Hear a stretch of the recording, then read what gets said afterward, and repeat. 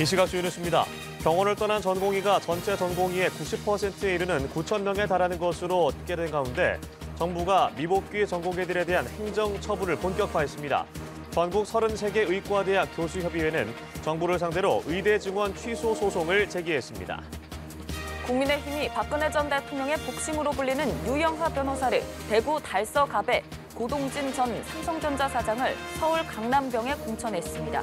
서울 강남과 대구 등 보수 강세 지역 다섯 곳은 국민 공천을 받기로 했습니다. 더불어민주당이 이재명 대표 부인 김혜경 씨를 보좌해 사천 논란이 불거진 권양엽 전 청와대 비서관의 전략 공천을 철회했습니다. 이재명 더불어민주당 대표와 조국 조국 혁신당 대표는 총선에서 함께 승리하자며 뜻을 모았습니다. 미국에선 민주당과 공화당 대선 후보를 사실상 결정짓는 이른바 슈퍼 화요일 투표가 진행되고 있습니다. 민주당에선 바이든 대통령, 공화당에선 트럼프 전 대통령이 이변 없이 1위 자리를 굳힐 것으로 예상되고 있습니다. 뉴욕 증시는 애플 등 기술주들이 약세를 보인 영향 등으로 3대 지수가 일제히 하락했습니다.